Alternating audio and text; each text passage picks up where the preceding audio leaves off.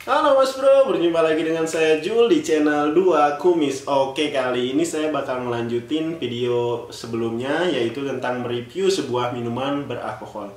Minuman apakah itu? Untuk kali ini yang akan saya review, mari kita simak videonya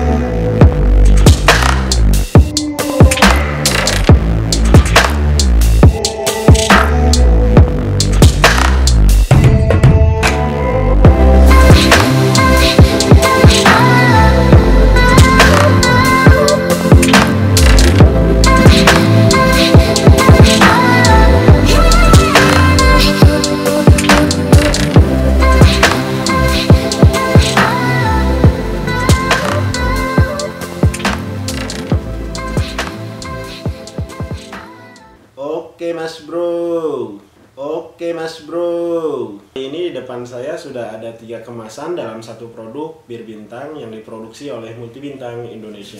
Dan menurut saya bir bintang itu adalah sebuah ikonik Indonesia. Penduduk Indonesia pertama kali mengenal bir yaitu diperkenalkan oleh penjajah Belanda pada saat itu. Dia mendirikan sebuah pabrik NF Nederland di Surabaya pada tahun 1931 Pabrik inilah yang kemudian menghasilkan brand paling populer di Indonesia hingga saat ini. Diperkuat dengan sejarah perdagangan Indonesia dengan bangsa lain menggunakan barter pada masa itu, Mas Bro. Dan bir bintang dikenal oleh orang Belanda dan Jepang pada masa itu adalah bir Indonesia. Jadi wajar kalau saya bilang bir bintang merupakan ikonik Indonesia. Kembali ke tema, saat ini kita akan nge-review sebuah minuman yaitu bir bintang. Kita mulai dari satu kemasan dulu. Yang pertama mari kita ulas tentang kemasan. Bir bintang memiliki berbagai macam varian kemasan. Kaleng, botol, dan yang satu lagi yang jarang kita temukan di pasaran yaitu drug beer yang berukuran 20 hingga 30 liter per satu tabungnya. Untuk kaleng ini memiliki dua versi yaitu yang pertama ini 320 ml dan untuk yang kalengnya ini 500 ml. Dan untuk ini botol botol yang besar itu ukurannya sekitar 620 ml sedangkan masih ada pula yang kecil ukuran 320 ml Pak, mari kita bahas yang kedua yaitu kadar alkohol. Pada dasarnya, seberapapun ukuran dan kemasan bir bintang tetap memiliki kadar alkohol 4,7% atau golongan A di bawah 5%. Jadi kalau Mas Bro belanja bir di supermarket, pasti yang tersedia itu bir dengan kadar alkohol golongan A atau di bawah 5% karena itu sudah menjadi peraturan daerah. Sekarang kita beralih ke nomor 3 yaitu tentang rasa. Bir bintang banyak orang yang membandingkan bir bintang hampir sama mirip dengan Heineken. Jangan khawatir karena bir bintang memang anak perusahaan Heineken ya mas bro.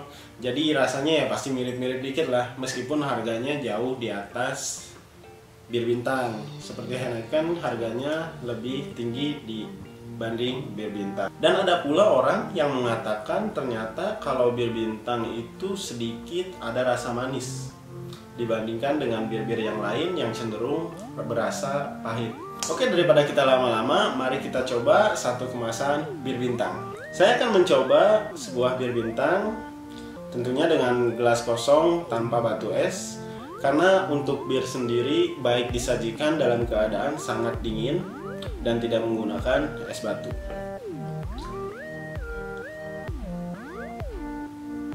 Satu kaleng ini ukurannya sangat pas dengan satu gelas bir bintang. Banyak orang yang mengatakan bahwa bir bintang memiliki rasa yang sedikit agak manis ketimbang bir-bir yang lain. Menurut saya rasa manis ini hanya sedikit atau sementara dan setelah itu akan terasa sedikit pahit menurut saya. Dan untuk komposisinya sendiri bir bintang di sini tertulis komposisinya air, malted barley, gula sukrosa, barley, dan hop pilihan. Jadi menurut saya rasa manis yang ditimbulkan dari malte seimbang dengan rasa pahit yang ditimbulkan oleh bunga hop ya. Jadi menurut saya ini bir bintang menurut saya enak. Ada yang bertanya kepada saya bahwa biasanya bir itu memiliki busa dan juga ya semacam pom gitu apa gunanya? Ternyata buih atau pom memiliki fungsi tertentu untuk rasa dan kualitas bir. Buih atau pom di atas bir biasanya dia bisa berfungsi menahan kandungan CO2 yang ada di dalam bir. Dan jika penyajiannya dilakukan secara benar bir akan terasa segar dari awal hingga tetes terakhir. Setelah kita banyak berbicara tentang kemasan, kadar alkohol, dan juga rasa, tentu kalian menginginkan tahu informasi harga per satu kaleng atau per botol bir bintang. Untuk kemasan bir bintang yang saya beli ini di supermarket, untuk kemasan 320 ml saya beli dengan harga 22.600 dan untuk kemasan yang jumbo dengan harga 30.400 ini 500 ml 30.400 sedangkan untuk yang botol yang kecil atau 320 ml kisaran 29.600 dan untuk yang besar ini dijual di supermarket itu seharga 39.600. Tentu harga yang saya berikan untuk kalian itu harga supermarket bukan berarti sama dengan harga KP ataupun outlet-outlet tertentu. Oke Mas Bro, saya rasa cukup untuk pengenalan bir bintang. Semoga bermanfaat dan memberikan sedikit wawasan untuk kalian. Dan jangan lupa pesan dari saya, minumlah secara bertanggung jawab. Dan untuk minggu berikutnya saya akan coba mereview sebuah minuman masih di produk multi bintang yaitu Bintang Radler. Bintang Radler ini ada dua varian, yang alkohol dan juga non alkohol. Mudah-mudahan saya bisa mereview di minggu berikutnya ya Mas Bro. Jika kalian suka dengan video ini, silahkan like dan share video ini dan jangan lupa untuk subscribe channel Dua Kumis. Jika ada kritik dan saran, silahkan kalian berkomentar di kolom komentar. Oke Mas Bro, sampai jumpa di minggu berikutnya. Bye bye.